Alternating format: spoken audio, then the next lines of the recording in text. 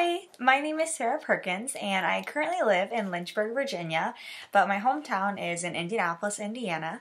I have uh, one sister and she lives in Nashville, Tennessee. I actually originally was a theater performance major at Liberty and now I'm a communications major, so I love theater and Broadway and Disney and all that kind of fun stuff. But I also have been to almost every national park, so I love hiking and I love camping and I love anything that involves the outdoors, I will definitely be there.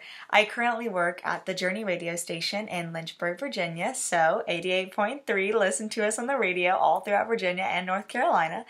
And my plan after Liberty is that I'm graduating in May and I might be pursuing my master's. I am applying to different jobs, so we'll see what I end up doing after I graduate, but I am really excited to graduate and I am hoping to learn from this class um, more strategic communication. I have been a speech communication major, so I haven't been able to take any classes in strategic communication.